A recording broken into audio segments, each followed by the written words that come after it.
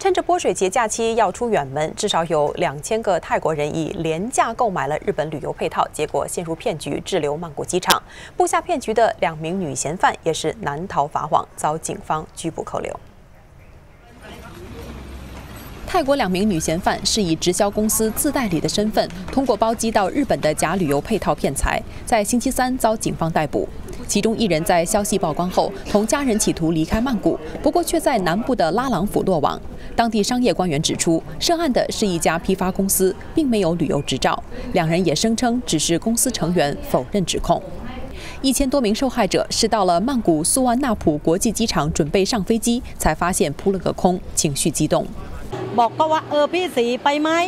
这名受害者表示，对方在电话中提到去日本只需一万泰铢，约四百新元，他觉得非常便宜，就召集孩子和侄儿一块儿去。大多数的受害者是以九千到两万泰铢的价格在网上购买六天日本机票和住宿配套，远低于市场价格。